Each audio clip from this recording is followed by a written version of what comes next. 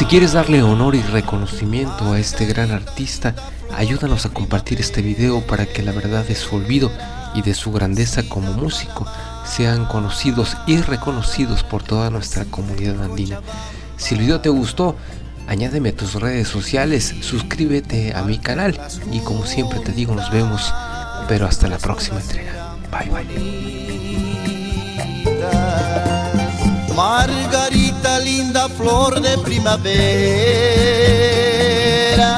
nacida para amar, nacida en Cochabamba, me sorprendí al verlas juntas, pues todas iban soñando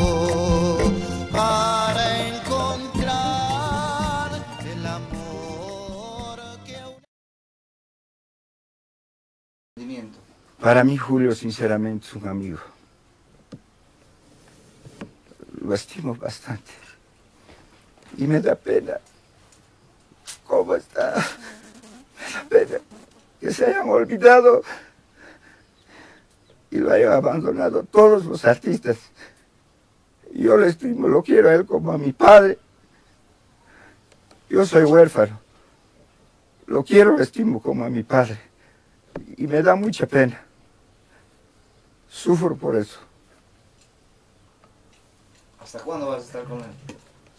Hasta que Dios decida, hasta el último minuto de nuestras vidas, yo he de estar con Él. Lo voy a acompañar. ¿Por qué si Julio Lavallén contribuyó en un grado muy alto a que Jarcas estuviera situado en el lugar donde está el día de hoy? ¿Por qué fue olvidado? ¿Por qué no le retribuyen eh, en- económicamente o moralmente eh, su trabajo los Jarcas? Los hermanos eh, Ulises principalmente, perdón, eh, Gonzalo y Elmer. ¿Por qué? Pues es muy sencillo. Puede parecer descabellado para muchos, pero dicho esto de viva voz del buen Julio Lavallén, es porque muchas de sus canciones de los Jarcas, muchas en sus inicios, le fueron robadas a Julio Lavallén, le fueron robadas de una manera vil y artera. Esto no debe a ti parecerte extraño ni extraordinario, esto ha pasado con muchos grupos. Se cuenta eh, el mismo Julio Lavallén que llegaba Ulises en tiempos de calor con una chamarra grande, grande, gruesa, y ahí traía oculta una grabadora, Ulises, y con esta pues grababa el tono, el ritmo, y él se la llevaba, y sobre ese tono y ritmo nada más cambiaba la letra. Y te lo digo que el mismísimo Ulises, ya al borde de la muerte, fue con Julio a pedirle perdón por el plagio, no de todas, sino de algunas de sus canciones, las más importantes. De verdad, no son palabras mías, son palabras de Julio, y yo creo que es verdad. Yo creo que sí, y solamente así se explica el por qué lo hayan dejado morir en la pobreza, en el olvido, y jamás Gonzalo haya mencionado a Julio en ninguno de los álbums, en la historia ni en la biografía del grupo Jarcas. De verdad, así lo considero y es la única manera en la que se explica este olvido, este abandono, esta cobardía y esta traición que le hicieron a él.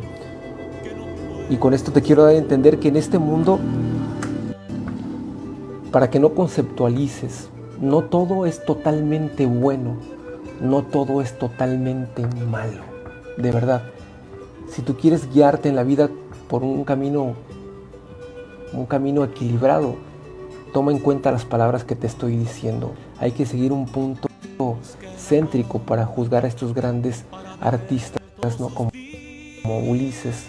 Hay personas que ahorita dirían, pues, ¿cómo puede ser posible que Ulises, un genio, sí, nadie se lo quita, pero de que se hurtó dos, tres o cuatro, cinco canciones en sus inicios de julio, lo hizo, a tal grado que delante de testigos pidió perdón a Julio Lavallén por este hecho.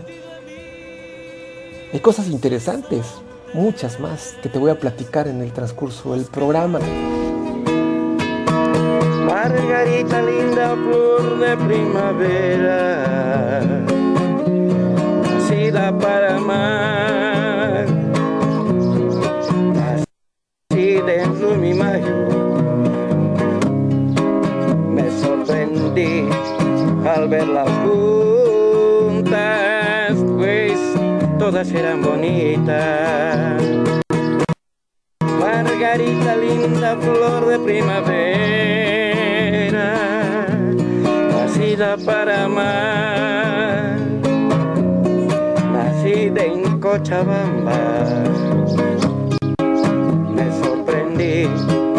verlas juntas, pues todas iban soñando. Para encontrar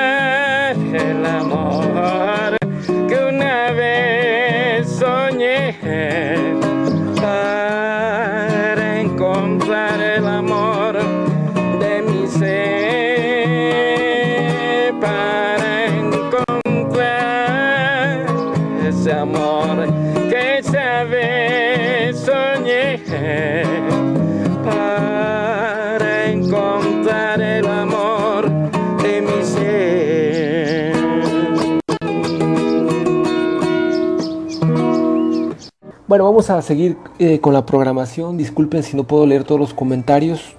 Eh, voy a tratar de, rescatar los que más pueda, pero vamos con otra canción. Y vamos con la esencia del, del programa del día de hoy. Hablamos del Jarca olvidado, hablamos de Julio Lavallén. Y yo, eh, cuando yo escuchaba las entrevistas hace mucho tiempo de Julio, yo me preguntaba qué tan olvidado tengo a mis seres queridos. Lo sacaba como reflexión y a colación. ¿Qué tan olvidados tengo a mi padre en este caso, que es el que me sobrevive?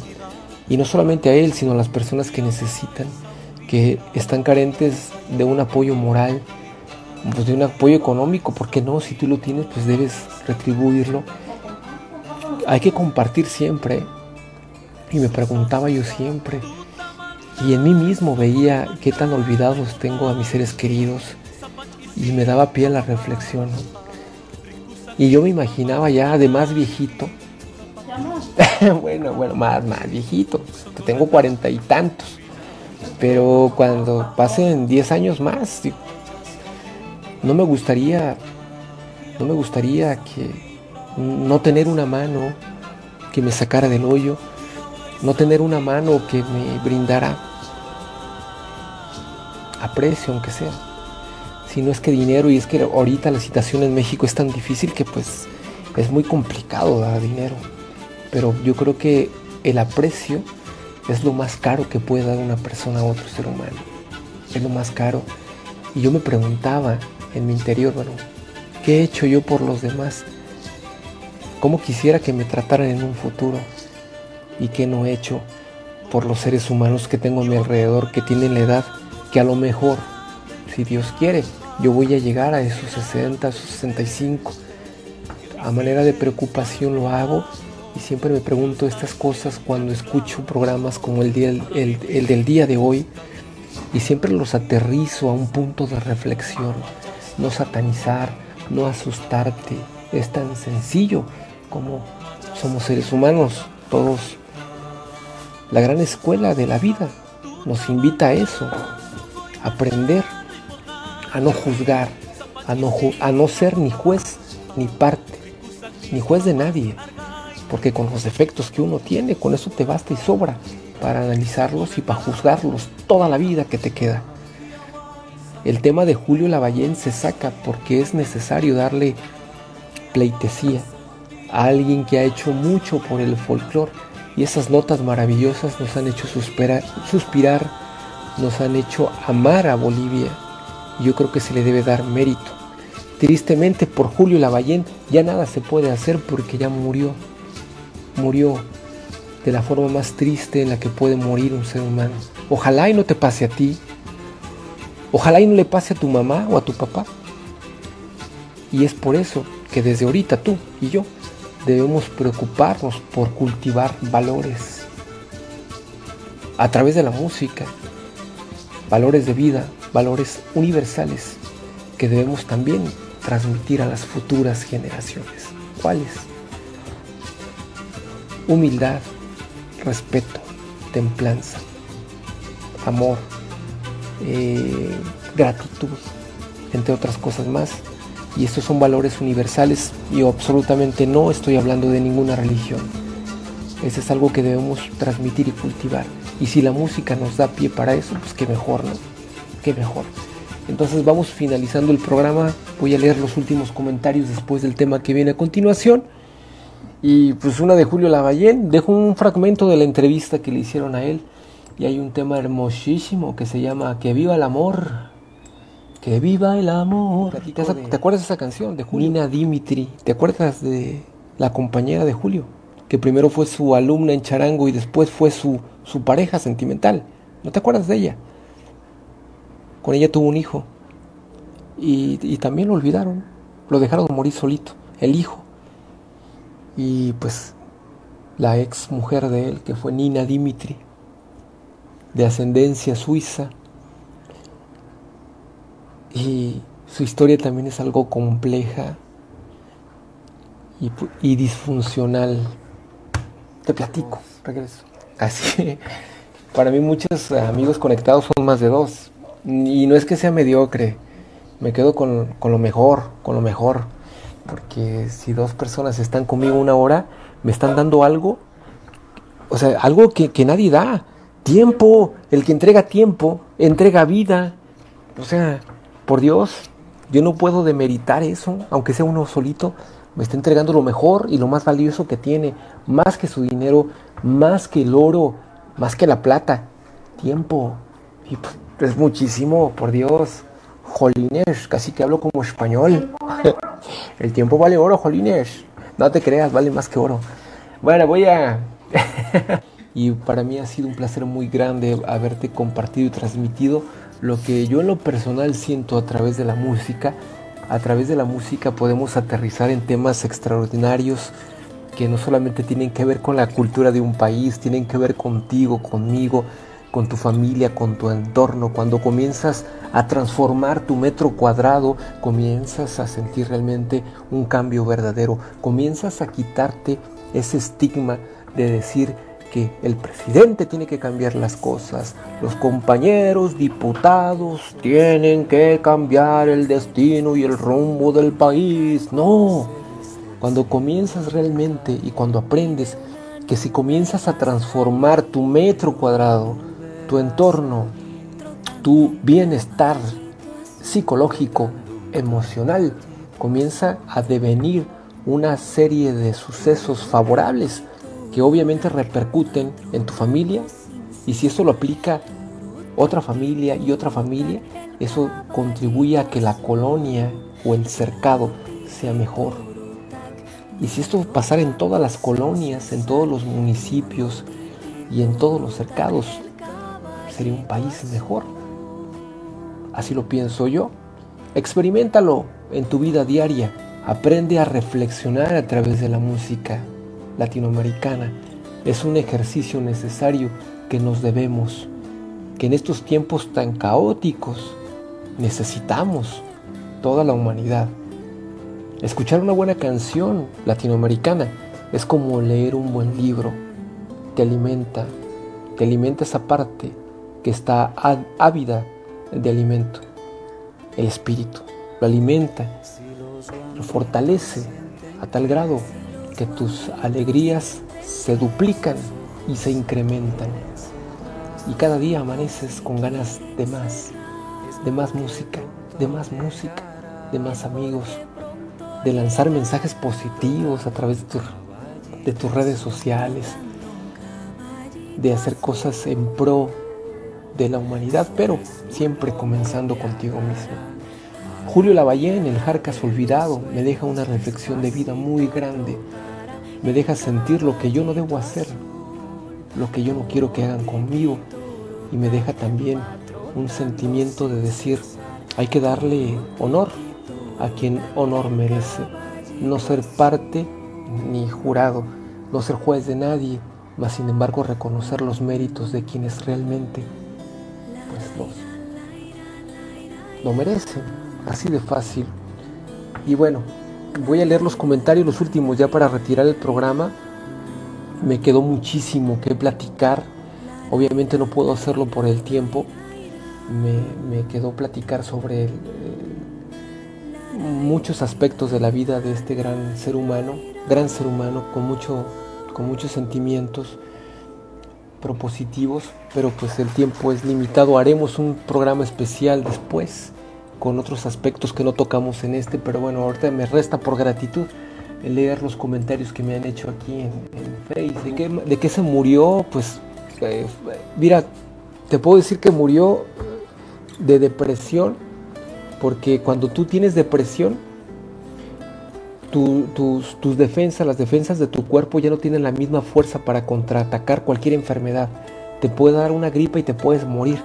Te puede dar un dolor de muelas y te puedes morir si tienes depresión. Por eso es malísima la depresión. Julio Lavallén murió de, de tristeza, de depresión, por todo lo que te acabo de platicar y por todas las tradiciones que vivió en su vida contada, la de sus Cuando tienes depresión, pues todo, cualquier cosita, por insignificante que tengas en tu interior o en tu vida externa, no tienes la fortaleza para sacarla eh, de ti y eso te consume y te llegan todas las enfermedades. Julio Lavallén tenía eh, una enfermedad, no sé cómo se llama o cómo la puede nombrar, que se le comenzaron a hinchar todas sus manos, las manos, sus pies, sus rodillas, sus hombros, las articulaciones se le comenzaron a hinchar.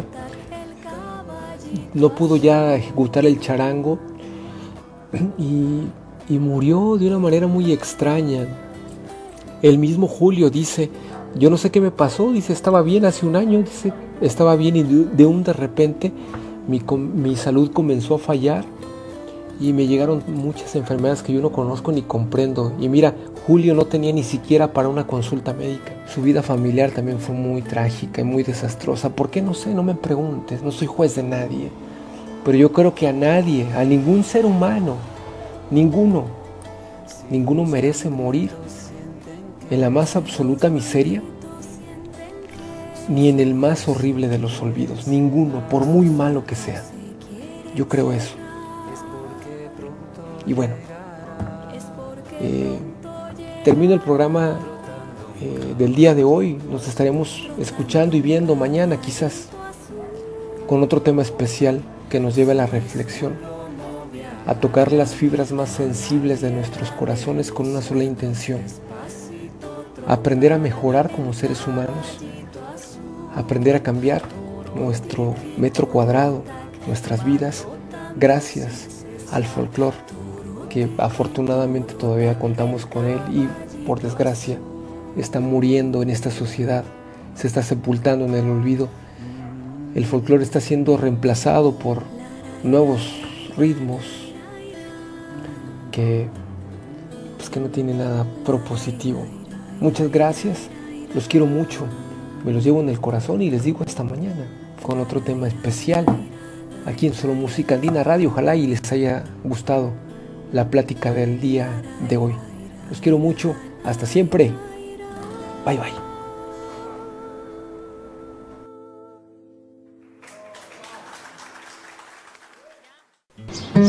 que los jóvenes traten de identificarse siempre con lo que nos corresponde, porque es la vivencia nuestra no solamente, no estoy en contra de ninguna música, ¿no? No de siempre, porque hoy en día está reinando la cumbia villera, los reggaetón, total, se respeta, pero por favor jóvenes, con los sufrimientos que hemos pasado todos los antepasados, que todo así dedicado a ustedes mismos, a las futuras generaciones, dediquen, preocúpense de identificarse como buenos bolivianos, porque tenemos que identificar primero con lo nuestro, después con los reggaetones que existan, con las cumbias villeras que existan. Primero lo nuestro, en todos los niveles culturales, tanto pues en la música, en la danza, los bailes, los libros, los poetas, etc. Entonces nuestras costumbres, tradiciones, primero lo nuestro, jóvenes. Yo de todo corazón les pido, háganlo, siempre respetando, amando a los papás, a los hermanos. Llamémonos, como dice nuestro Señor Jesucristo, los unos a los otros. Amaos los unos a los otros. De todo corazón, pues, jóvenes.